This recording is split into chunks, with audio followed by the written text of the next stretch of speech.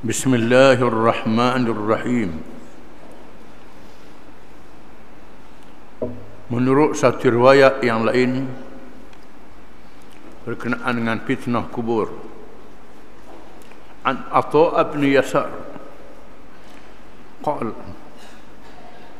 قال رسول الله صلى الله عليه وسلم لعمر بن الخطاب رضي الله عنه يا عمر كيف بك إذا أنت مت؟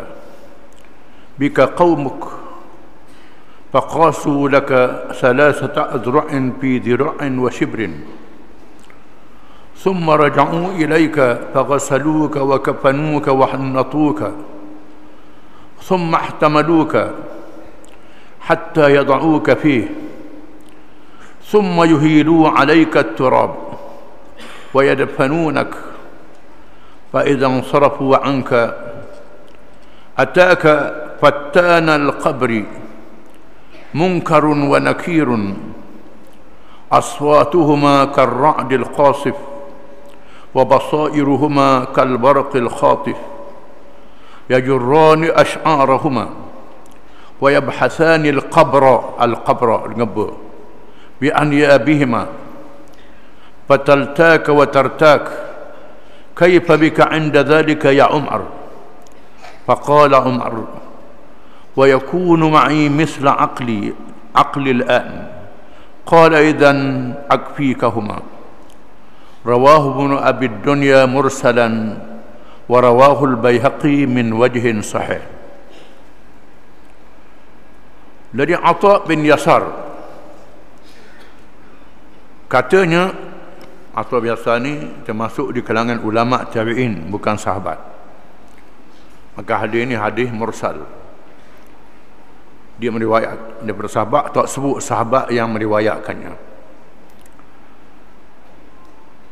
Telah bersabda katanya Rasulullah SAW telah bersabda kepada Umar bin Al-Khattab radhiyallahu an Hai Umar bagaimanakah keadaanmu apabila kamu mati maka pergilah kaummu lalu mereka mengukurmu. Kain kapan sekadar tiga hasta panjang. Tiga hasta sejengkal lebarnya. Sehasta. Tiga hasta panjang sehasta sejengkal lebarnya. Lalu mereka pulang kepadamu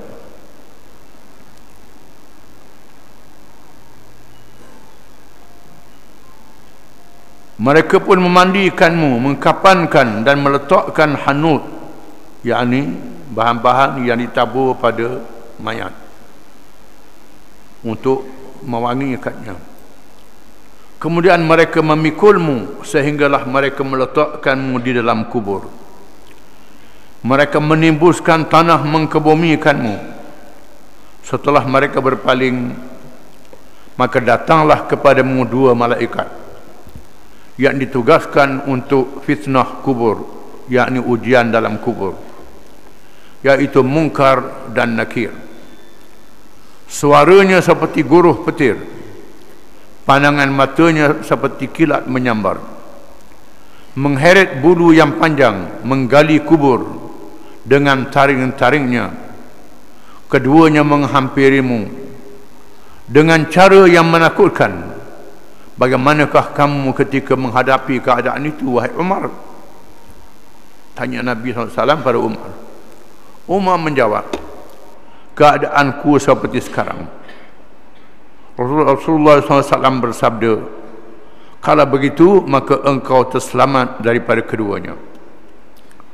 Bermakna seseorang itu hendaklah menghadapi fitnah kubur dengan iman yang tetap di atas dunia dengan istiqamah. Berada jalan yang betul dan terus di atas jalan yang betul maka ketika dalam kubur dia terus berada di jalan yang betul juga. Kalau di atas dunia ni keluh keleh dalam kubur pun tak boleh menghadapi ujian itu. Menurut satu riwayat yang lain oleh Abu Hurairah radhiyallahu an katanya Rasulullah SAW telah bersabda إذا قبر الميت أتاهم ملكان أسودان أزرقان. يقال لأحدهما المنكر وللآخر النكير. فيقعدانه روحه في جسده. فيقولان له ما كنت تقول في هذا الرجل؟ وفي رواية, رواية لأبي داود ما كنت تعبد؟ فإن الله هداه. قال كنت أعبد الله. فيقال له ما كنت تقول في هذا الرجل. وفي رواية أخرى له أيضا. فيقولان له من ربك؟ فيقول ربي الله. فيقولان له ما دينك؟ فيقول ديني الإسلام. فيقولان له ما هذا الرجل الذي بعث فيكم؟ فإذا كان مؤمنا قال هو عبد الله ورسوله أشهد أن لا إله إلا الله وأن محمدا عبده ورسوله. فيقولان له قد كنا نعلم أنك تقول هذا. وفي رواية لأبي داود قال فينادي مناد من السماء أن قد صدق عبدي فافرشوه فافرشوه أدفع. فافرشوه من الجنة وافتحوا له بابا إلى الجنة. قال صلى الله عليه وسلم فيأتيه من روحها وطيبها ثم يفسح له في قبره سبعون ذراعا في سبعين ثم ينور له ثم يقال له نم فيقول أرجع أرجع إلى أهلي فأخبرهم يعني بأن حالي طيب فيقولان نم كنومة العروس الذي لا يقظه إلا أحب أهله إليه حتى يبعثه الله من مضعه من مضجعه ذلك.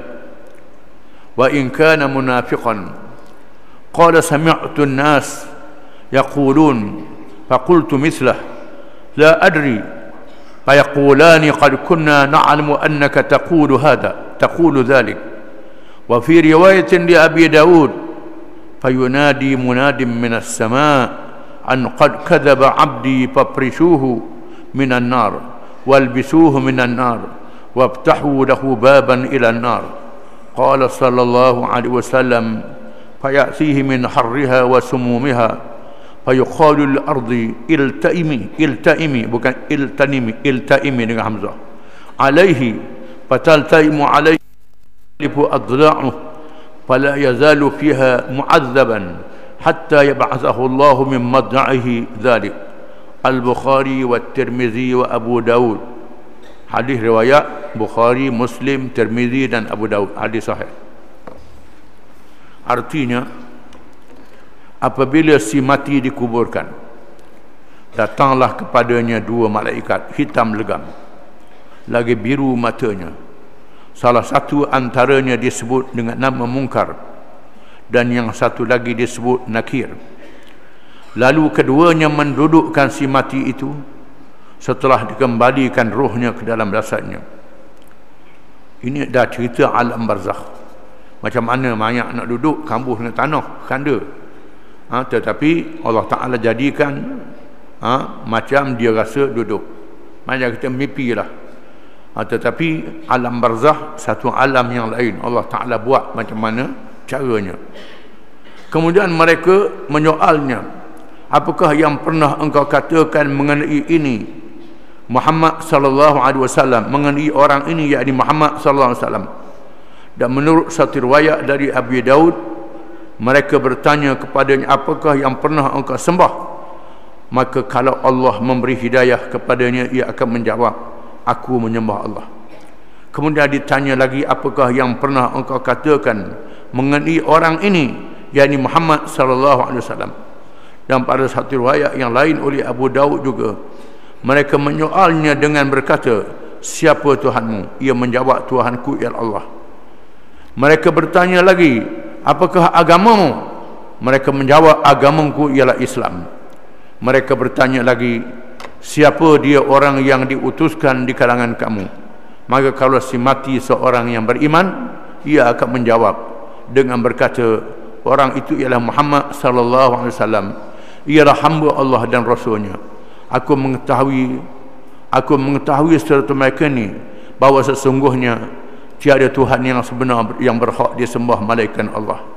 Dan bahawa sesungguhnya Muhammad itu ialah hamba Allah dan Rasulnya mereka yang di malaikat berkata kepadanya kami sedia mengetahui bahawa engkau mengakui yang demikian. Kata malaikat betul aku tahu kata begitu. Dan pada satu riwayat oleh Abu Dawud bahawa Rasulullah SAW bersabda lalu diseru oleh penyeru dari langit katanya sesungguhnya benar hambaku. Maka bentangkanlah kepadanya satu hamparan dari syurga dan pakaikanlah dia pakaian dari syurga. Serta bukakanlah baginya sebuah pintu ke syurga. Rasulullah SAW bersabda lagi lalu datang kepadanya sebahagian dari bau syurga dan keharumannya. Kemudian dilapangkan kuburnya seluas 70 hasta persegi. Dan dia berikan cahaya yang menerangi kuburnya. Kemudian dikatakan kepadanya tidurlah. Maka ia berkata bolehkah aku balik kepada keluarga aku supaya dapat aku ceritakan kebaikan halku. Dua malaikat itu berkata kepadanya tidurlah.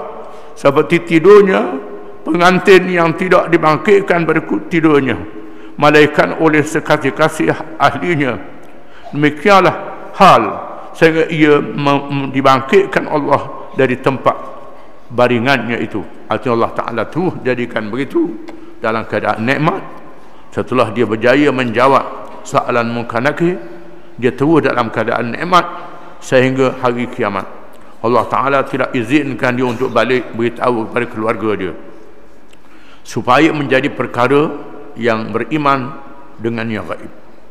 Dan jika si mati itu seorang munafik kalau orang mati tu orang munafik Islamnya pura-pura Islamnya ikut orang tapi hati dia tak percaya Islamnya bukan yakin Islam bukan sungguh Islam tipu Islam baka dan keturunan dia tak percaya pada Islam. Ia menjawab pertanyaan malaikat itu dengan katanya aku dengar orang berkata demikian. Aku dengar orang kata Allah. Aku dengar orang kata Muhammad. Ha, dia sendiri tak percaya. Maka aku pun turut kata sama. Aku tidak tahu benar ke atau tidak lalu kedua-dua malaikat itu berkata memang kami tahu engkau berkata demikian. Dan menurut satu riwayat oleh Abu Daud lalu diseru oleh penyeru dari langit. Katanya sesungguhnya orang itu berdusta. Maka bentangkanlah kepadanya satu hamparan dari neraka. Pakaikanlah pakaian dari neraka. Serta bukakanlah baginya sebuah pintu ke neraka. Rasulullah SAW bersabda lagi lalu datang kepadanya sebahagian dari bahang neraka dan udara panasnya. Kemudian dia perintahkan bumi supaya menghimpitnya sehingga berselisih tulang rusuknya. Maka tinggallah ia dalam azab itu terus menerus sehinggalah Allah bangkitkan dia dari kuburnya. Wallahu alam.